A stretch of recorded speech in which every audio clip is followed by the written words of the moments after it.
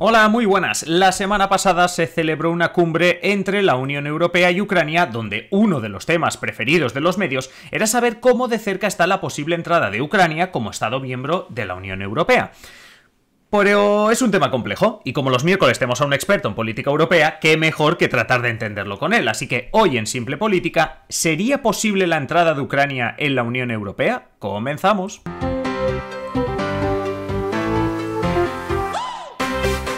Os habla Adrián Caballero y esto es Simple Política, el podcast que trata de simplificar y traducir todos esos conceptos, estrategias y temas que están presentes cada día en los medios y que nos gustaría entender mejor. La, la pregunta compleja del día, ¿podríamos llegar a ver a corto plazo a Ucrania en la Unión Europea? Pues para tratar de resolver la duda, saludamos a Emilio Ordiz. Emilio, ¿qué tal? Hola Adri, muy buenas, ¿qué tal?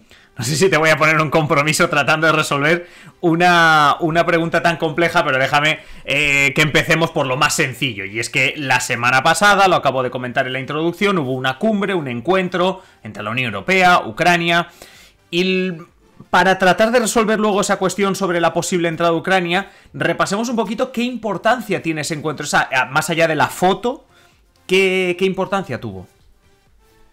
Bueno, el encuentro en principio Mm, la, base de todo, digamos, que es el hecho de que la Unión Europea celebra una cumbre junto a un país en guerra.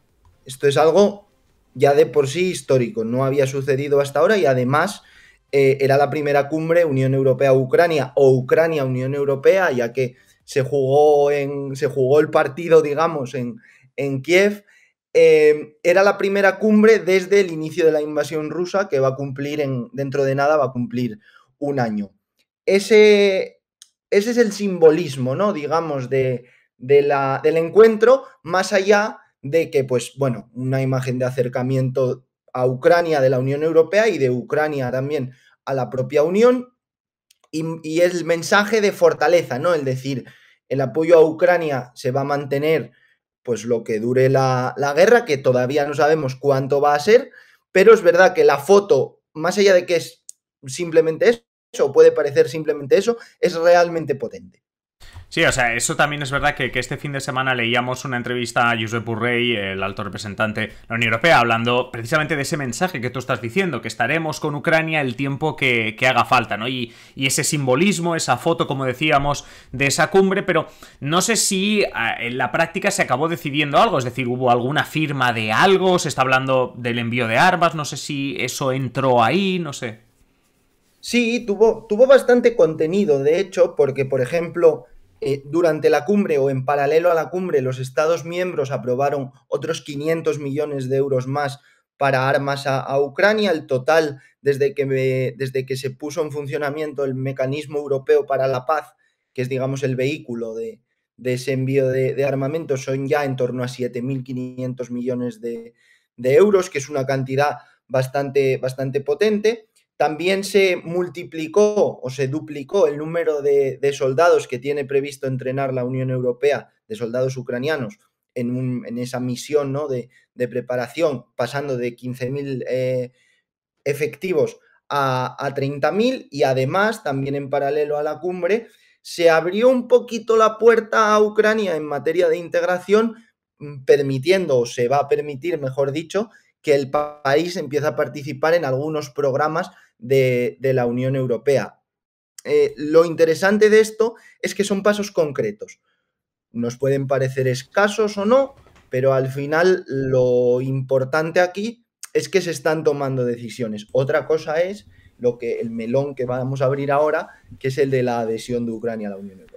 Claro, ese melón quería abrirlo porque es que tú mismo acabas de decir, no, se, se habló de que Ucrania participe en proyectos de la Unión Europea evidentemente más allá de lo que se acabase decidiendo y firmando, volvió a ponerse encima de la mesa, al menos en los medios de comunicación, la posible adhesión de Ucrania eh, en la Unión Europea. De esto se lleva hablando desde que empezó la guerra. Y antes de, de, hablar sobre si sí o si no Ucrania en la Unión Europea, Emilio, cuéntanos un poco cuál es el proceso de adhesión a la Unión Europea. Es decir, un país, se llame Ucrania, se llame Albania, se llame Moldavia, ¿Cómo es el proceso para entrar en la, Unión Europea? Hay que partir de la base de que el proceso es complicado y muy largo. eh, es muy raro que en unas condiciones, mm, vamos a decir, normales, eh, el proceso se reduzca a menos de 8 o 10 años, ¿vale? Eh, esto ya nos da una, foto em, para manejar los tiempos siendo realistas. Por ejemplo, Croacia, que fue el último país en entrar, tardó 10 años en completar todo el proceso. ¿El proceso en qué consiste? Bien, consiste en que el país en cuestión presenta o registra su solicitud de adhesión. El último en hacerlo fue hace mm, nada eh, Kosovo. La Comisión Europea, que no es parte decisoria en el proceso, pero sí interviene en él, emite un informe que en caso de que sea favorable pasa a los 27, pasa al Consejo. Y el Consejo, con la base de ese informe de la Comisión, decide si otorga el estatus de candidato al país o no. ¿Esto avanza el proceso? En términos teóricos sí, no tanto en términos prácticos. ¿Por qué? Porque el siguiente paso consiste en abrir las negociaciones. Es decir, un país puede tener el estatus de candidato, pero mantener las negociaciones cerradas. Es lo que les ha pasado hasta hace nada también a Albania y a Macedonia del Norte, que van en el mismo pack. Digamos que Albania en este caso ha pagado un poco los platos rotos, porque los problemas o las polémicas de los Estados miembros han sido con, Macedonia del Norte, pero mientras no se abran negociaciones, el proceso entra en un punto muerto. ¿Qué pasa cuando se abren eh, negociaciones? Que hay que cumplir con una serie de capítulos. En total son 35 capítulos que abarcan temas, eh, por, ir, eh, por, ser, eh, por simplificar el asunto, abarcan temas, pues bueno, pues desde instituciones democráticas, defensa, economía, mercado interior, etcétera, etcétera. Todo eso se va revisando, los capítulos se abren y se cierran, pero se pueden quedar abiertos sin edie. Todos estos pasos, apertura y cierre de capítulos, exigen unanimidad en los Estados miembros. ¿Qué pasa? Que mm, el proceso puede entrar otra vez o tantas veces como se quiera en un punto muerto, pues porque haya un país que no esté por la labor de eh, abrir o cerrar un capítulo. encima de esto, mejor dicho, hay un paraguas que es, digamos, lo mínimo que tiene que cumplir un país para entrar en la Unión Europea, que son los llamados criterios de Copenhague. ¿Qué es esto? Estos son, pues como digo, lo básico, son tres y una letra pequeña. Los tres son unas instituciones estables, una economía fuerte capaz de asumir las obligaciones que comporta entrar en la Unión Europea y la capacidad de mm, asumir de nuevo esas, esa serie de obligaciones que eh, tiene el hecho de ser un Estado miembro. ¿Dónde está la letra pequeña? En que los Estados miembros se reservan, digamos, un matiz que nos dice que la Unión Europea tiene que estar preparada para admitir nuevos Estados miembros. Claro, esto es subjetivo. ¿Cómo se nos dice si la Unión Europea está o no preparada? Bueno, pues lo veremos cuando, cuando llegue el momento de admitir o no a un nuevo país, el, que sería el número 28, veremos cómo se, se lee o se interpreta esa letra pequeña. Sí, eso lo, luego te pregunto por eso, pero déjame que te pregunte antes por algo más importante, ¿no? Porque todas las, incluso los criterios de Copenhague, que son como los, los grandes, al final lo que nos hacen ver es si ese país que quiere entrar está preparado para entrar. Y yo te quería preguntar sobre si esto, no sé si se ha hablado ya en, en Bruselas, pero ¿está Ucrania preparada para entrar o es básicamente con la guerra se comenta esto, pero estamos lejos de verlo. Estamos muy lejos, no solo lejos, estamos muy lejos. No, Ucrania no está preparada para entrar en la Unión Europea a corto plazo y seguramente no lo estará a, medio plazo, precisamente porque no cumple con esos criterios de Copenhague. Es decir, eh, Ucrania es un país en guerra ahora mismo, pero cuando la guerra se acabe será un país en reconstrucción. Nos, nos viene bien tener eh, precedentes en este sentido. Mm, siempre pongo, y sé que yo en mi caso soy muy repetitivo con esto, pero siempre pongo el ejemplo de Bosnia. a Bosnia se le acaba de, otorgar el estatus de candidato, como quien dice.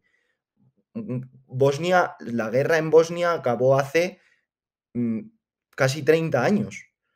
Eh, y, y, sigue en un proceso de adaptación al escenario para entrar en la Unión Europea. Más allá de que en concreto Bosnia tiene problemas institucionales muy importantes y, a nivel político también, también muy profundos. La respuesta es que no, Ucrania no está preparada para entrar en la Unión Europea y en principio no lo va a estar a, corto y medio plazo, incluso pese a que en Kiev insistan en dos, han insistido en dos cosas. El primero, lo primero, perdón, que eh, su cálculo es que de aquí a dos años pueda estar en la Unión Europea, cosa que es completamente inviable.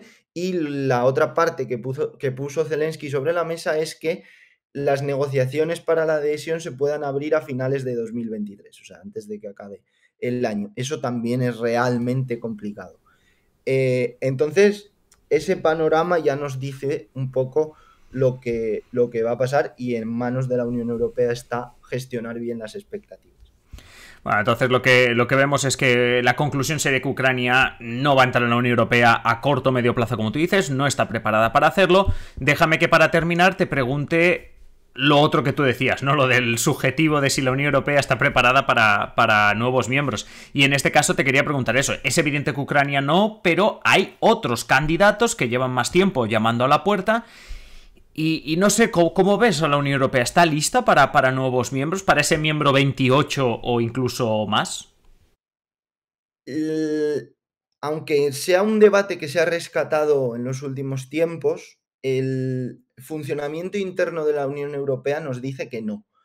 ¿Por qué? Porque el sistema actual es un sistema en el que prima la unanimidad. Si con 27 estados el proceso de decisión ya es muy lento, porque tienes que poner de acuerdo a, los 27 países que forman parte del bloque, ir añadiendo ingredientes a eso complica todavía más el, asunto.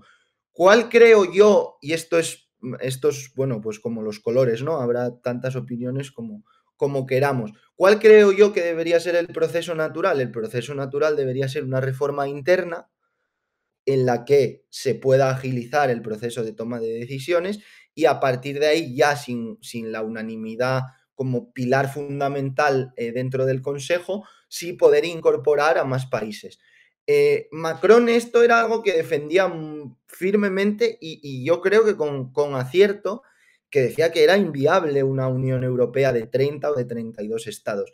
¿Qué se hizo para, eh, digamos, camuflar este problema? Se creó que eh, quizá otro día podamos hablar de ella con más profundidad, se creó la Comunidad Política Europea como foro de debate, incluyendo, pues eso, a los países balcánicos, a Turquía, incluye a países que a corto plazo no van a entrar en la Unión Europea, pero a los que sí se quiere hacer partícipes, digamos, de esa esfera de influencia que se quiere construir desde, desde Bruselas y más en concreto desde París, porque esto es una idea apadrinada por Francia. Si es verdad que hay candidatos, hay países candidatos avanzados, Montenegro es el que más avanzado está en las negociaciones y hay otros que pueden avanzar relativamente rápido, como es el caso de, Albania y de Macedonia del Norte, si no se encuentran con más problemas o con más polémicas eh, en ese camino, pero a corto plazo yo no veo a la Unión Europea ampliándose a uno, dos o tres estados más. Bueno, pues no nos quedamos con eso sobre todo y queríamos hablar de Ucrania. Hemos visto claramente que no, que no entrará, pero por otro lado, la Unión Europea tampoco nos comentas, Emilio, que la ves ampliándose al menos a, corto o medio plazo. Como siempre, es un placer eh, tenerte y conocer más sobre la política europea. Y simplemente te emplazo a que el próximo miércoles, la próxima semana, pues estés aquí también y, no, y comentemos más sobre política europea. Así se hará, Adri, hasta la semana que viene. Y vosotros ya sabéis que mañana volvemos con un nuevo episodio, así que estad atentos porque ya mañana mismo volvemos, que como, como cada día de la semana. Y nada, simplemente recordaros que si queréis ayudarnos, pues tenéis nuestro Patreon, patreon.com barra simple política, o que nos podéis seguir en redes sociales, en Twitter, Instagram, en YouTube, en Twitch, vamos, que estamos en todas partes. Simplemente desearos que paséis un feliz día y mañana, como digo, nos volvemos a encontrar. Así que un saludo y disfrutad del día. Adiós.